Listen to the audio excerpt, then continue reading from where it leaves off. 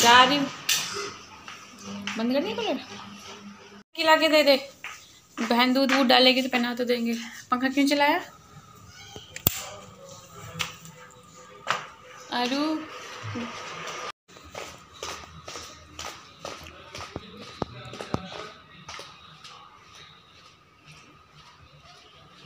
मैं अभी अभी आ रही हूँ जल्दी जल्दी पता है, धूप में गई थी दोपहर में, तब भी पार्लर में इतनी भीड़ थी। और यहाँ पर रास्ते में सुनसान से पड़ा हुआ है, डर और लगता है। यहाँ पे ना बंदर भी बहुत रहते हैं ना। फिर भी इक्का दुक्का आदमी आए जा रहा है आए जा रहा है। और मास्क मैंने इसलिए लगाया क्योंकि मैंने क्लीन अप करवाया है तो फिर धूप नहीं पड़नी चाहिए ना चेहरे पे। तो गैज़ यहाँ पे बनाने लग रही हूँ मैं सब्ज़ी। तो चलो मन का सब्ज़ी बना देती हूँ। और सब्ज़ी बननी थी दो तो दो सब्ज़ी बनाई थी क्योंकि बहुत दिन बाद, बहुत दिन के बाद मतलब मेरी बेटी का जब फ़ंक्शन था तभी आई थी। उसके बाद ना अब आ है तो यहाँ पे कुछ मैं ना मतलब मेरी बेटी बेसन से जैसे नहाती है तो मैं बेसन को छान के ना पहले एक डिब्बे में रख लेती हूँ ताकि जब नहाने का टाइम होता है ना तो साथ ही साथ निकाल लो। परेशानी नहीं होती और छान के नहीं रखते हो ना तो बच्चे के ना मोटे मोटे से अजीब अजीब से हाँ, बदन पे सारे पे ऐसे हो जाते हैं तो इसलिए मैं हमेशा ऐसे ही छान के रखती हूँ।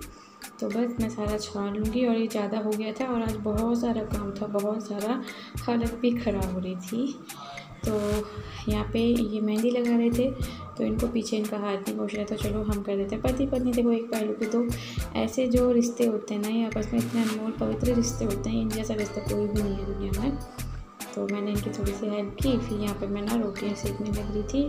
तो मैंने कहा चलो जल्दी जल्दी से रोटियाँ बना लेती हूँ क्योंकि आने वाली है, कौन आने वाला है वो आपको ब्लॉग में आगे आगे पता चल जाएगा आप देखते रहना।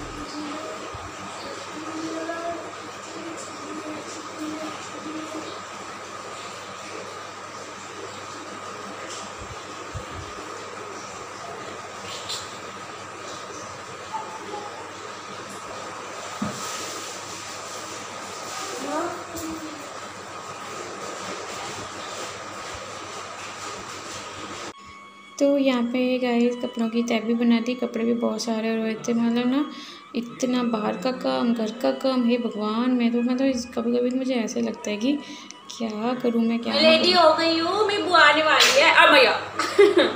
अच्छी। बाबू बोलो मैं बुआ आने वाली है मैं रेडी हो गई। अच्छे सबको हेलो कर दो बाबू। हेलो हेलो नमस्ते कर लो जय कर लो जय। आगे जय कर लो जय। हाँ, जय।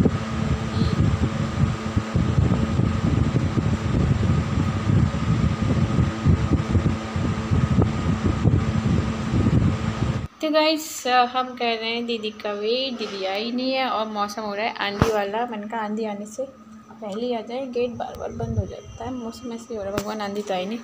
हाँ आज वेट कर रही है बुआ कब आएगी कब आएगी हाँ?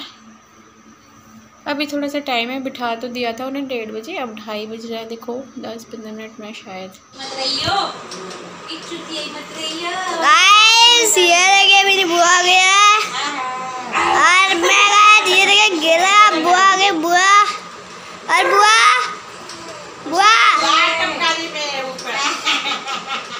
बुआ बुआ गैज फाइनली देख लीजिए, हमारी ननद रानी आ चुकी है और सुबह सुबह उनको चाय नाश्ता बना के दे दिया। दीदी ना सुबह ना क्या मतलब खाली चाय पीती हैं? तो मैंने नाश्ता दिया तो दीदी ने मना कर दिया कि नहीं भाभी, नहाने के बाद ही लूँगी, अभी तो मैं खाली चाय ही पीती हूँ। तो यहाँ देखो बहन आई और बहन की खुशी में उन्होंने बोला मेरे हस्बैंड ने कि अनु आज तुम मत बनाना सब्ज़ी मैं बनाऊँगा एक सब्ज़ी तो मैंने बना के रख दी थी।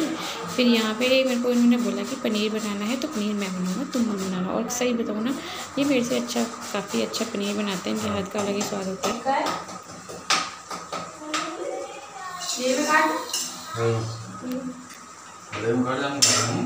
तो यहाँ पे दोनों हस्बैंड वाइफ लगे हुए हैं। उन्होंने सदर सब्ज़ी छोंक रहे हैं। उन्होंने ग्रेवी तैयार की और यहाँ पे पनीर था। मैं इसके छोटे छोटे टुकड़ी कर लूँगी और इनकी थोड़ी हेल्प भी हो जाएगी और मेरा भी नाम हो जाएगा कि मैं भी शामिल थी सब्ज़ी बनाने में। तो बहुत अच्छी सब्ज़ी बनाते हैं ये। तो गैस हमारा खाना पीना तो बन गया है। खाया किसी ने नहीं और सुबह के बज रहे हैं पौने नौ। तो मुझे भूख लग रही है। पता नहीं क्यों लग रही है, क्योंकि देखो दीदी लड्डू भी लेके आई हैं टोपे वाली ग्रिप्स रखे हुए हैं चिप्स पापड़। दिखा देती हूँ मैं आप लोगों को। पे लगा रखे हैं मैंने और इसमें ना मटरी भरती है अनमोल के लिए। यहाँ पे लगा रखे हैं मैंने और इसमें ना मटरी भरती है अनमोल के लिए। तो यहाँ पे सारा काम हमारा हो गया था, खाना, पीना वगैरह सब। सब लोग ना दो लिए थे, बस मैं ही रह गई थी और मैंने सूट चेंज कर दिया था, काफ़ी टाइट टाइट हो रहा था। तो यहाँ पे ये गैस वैस को जल्दी जल्दी साफ़ कर देती हूँ। एंड गाइज़ आपसे उम्मीद करती हूँ आपको मेरा वीडियो अच्छा लगा हो। आगे वीडियो बहुत अच्छे अच्छे आने वाले हैं। प्लीज़ लाइक कर देना, शेयर कर देना, चैनल को सब्सक्राइब कर देना। बाय बाय, नमस्ते।